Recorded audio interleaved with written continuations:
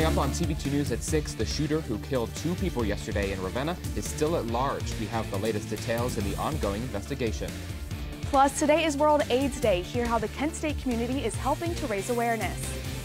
And Kent State President Beverly Warren sat down with student media today. She shared her thoughts about the attack on Ohio State's campus. And later, President-elect Donald Trump is starting his thank you tour today. Find out where he plans to stop to celebrate his victory. TV2 News starts right now. From the award-winning Kent State Student Media Newsroom, this is Portage County's TV2 News at 6. A suspect is still on the run after shooting two people yesterday in Ravenna. Good evening, Kent State and all of Portage County. I'm Ryan Dunn. And I'm Kyle Dawson. Police are still trying to find 25 year old David Darnell Calhoun Jr.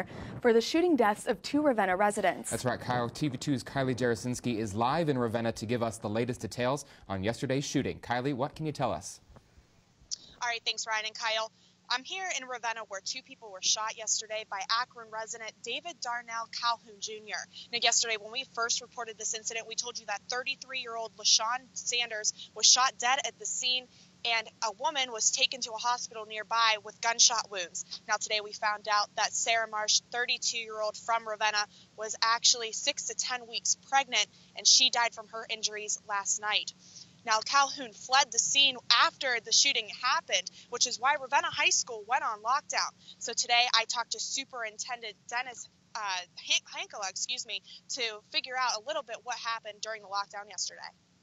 Ravenna High School students and faculty put their knowledge of drills into true action yesterday.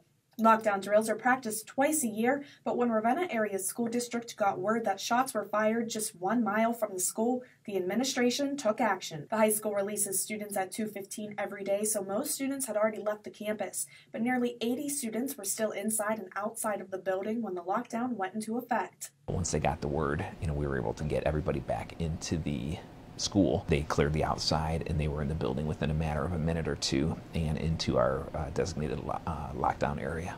So, how do you prepare for a lockdown? Ravenna Superintendent Dennis Honkala says it really is just practice and communication. If our students are informed, if our teachers are informed, we've practiced it, we've rehearsed it, um, we feel comfortable that we were able to, to make that happen effectively. Ravenna High School was the only school in the area that went into lockdown because of the location, but Honkala assures the community that other schools in the district are not at risk. The reason that we did not lock down the other schools is because once the Portage County sheriffs were on scene, which they were immediately, as well as the Ravenna police, um, they secure the scene and they take over all operations and they direct us. So I was constantly in communication with them as to whether or not um, we needed to lock down other schools. We did end up holding the buses. And then we have a notification system where I can contact all parents and um, guardians to let them know exactly what, what was going on. Thankfully, nothing happened at Ravenna High School and the lockdown was lifted shortly after. But in situations like these, it is always better to be safe than sorry. Thank you, Kylie. At Kent State today, University President Beverly Warren spoke to us on how she feels about the recent attack at OSU. She also spoke on how Kent State is prepared to handle these situations.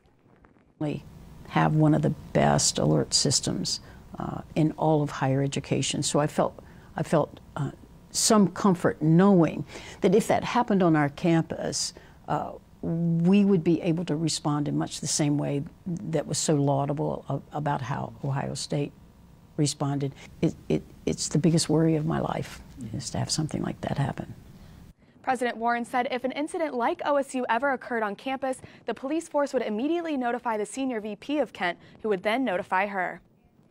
Switching gears a little bit to weather, it was colder today. First day of December. That's why we're you know we're wearing our holiday colors I know, today. Exactly. Uh, but I don't think we are going to be seeing a lot of uh, snow. We haven't seen a lot of snow. A lot of not a lot of cold temperatures lately. I know, but I definitely had to wear my big puffy coat today. I was pretty Absolutely, upset. Yeah. well, Kristen Renato joins us with our first look at our forecast. Thank you, Ryan and Kyle. You're right, we haven't seen a lot of snow recently. We had that good transition into the end of November into December.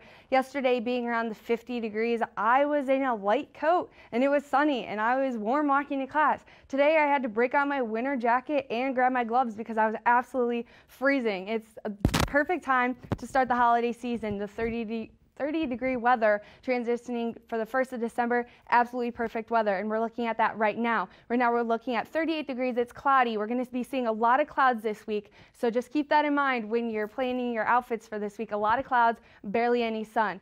Again, 38 degrees. The winds are coming at almost 13 miles an hour, so it's super windy. So I would definitely recommend breaking out that winter jacket, maybe throwing um, a scarf on, a sweater underneath, because it's going to be cold. If we take a look at our surrounding temperatures near Kent, we're going to see a lot of the same thing. We're seeing the highest temperature is 42 today, with everybody kind of falling below that upper 30s into um, lower into lower 40s. And if we take a look at our local temperatures, it's going to be the same way statewide too. Athens and Cincinnati, of course, being in the upper temperatures. But if you want to see more on that cold weather this week, tune in to my full forecast coming up.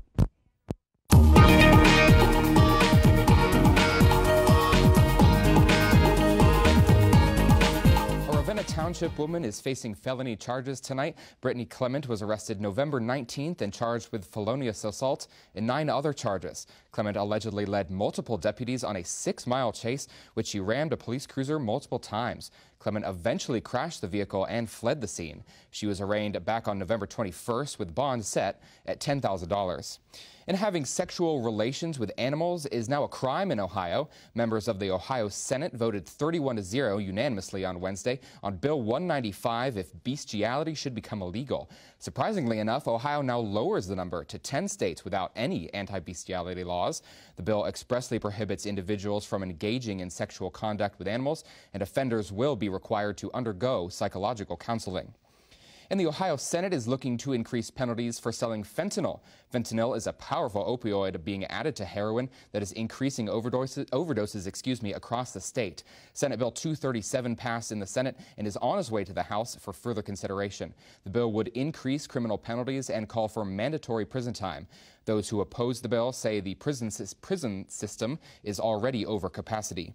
And it's beginning to look a lot like Christmas. You probably didn't want to hear me sing that. The city of Kent is hosting its annual Festival of Lights this Saturday. The free event will take place from 5.30 to 8 p.m. on Water Street, with a special visit from Santa himself around 6 p.m. Horse-drawn wagon rides will also take place throughout downtown, starting and ending at the Hometown Bank Plaza.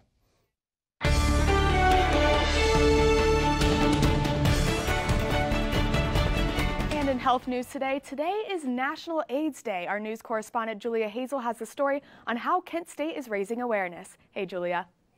Thanks, Kyle. The HIV virus affects millions of people in the U.S., but why does it disproportionately impact the LGBTQ community, as well as communities of other color? And teens in the U.S. have HIV, and 50,000 people are newly infected each year. 90% of those are sexually transmitted, and 70% of the 90% are from sexual relations with the same sex. So HIV stands for the Human Immunodeficiency Virus. It is just a virus that attacks and invades uh, the immune system. So it works by kind of invading cells and then taking them over and slowly destroying the immune system over time, which opens people up to infections and all sorts. The human immunodeficiency virus, otherwise known as AIDS, has affected the LGBTQ community by how bi, gay, and trans individuals have sex. Disproportionately impacted by HIV, which is largely gay and bisexual men um, or other men who have sex with men, especially men who have sex with men of color. Um, sorry, men of color who have sex with men um, and then just people of color in general, especially black women and black men. Half of all AIDS diagnoses are African Americans, and one in every two black men that have sex with the same sex will get HIV. So why are the rates so high in certain communities? Bisexual men are more at risk for HIV. One, because it's more concentrated in their community, so just because of who they know and who they have sex with, they're more likely to get it they're also just more likely because of the way that uh, they use their bodies for pleasure. Right? Even though HIV is one of the nation's largest viruses, the HIV diagnosis rates have dropped 19% since 2005. Hearing this new information brings joy to the students who attended the event. I thought the event was awesome. I'm really glad it's raising awareness about this, especially on World AIDS Day. I think it's so important of an issue as we learn through the event. Spreading awareness of both the virus and the importance of safe sex was two of the primary resources why students attended the event. Like I also am very big on safe sex, especially within like communities like the LGBTQ community. So I thought this was very important for me to come to. If you want further information on HIV, go to ohioprep.org. Thank you, Julia. We also spoke with a health educator at Kent State. She gave her advice on what you should do if you think you may have HIV or AIDS.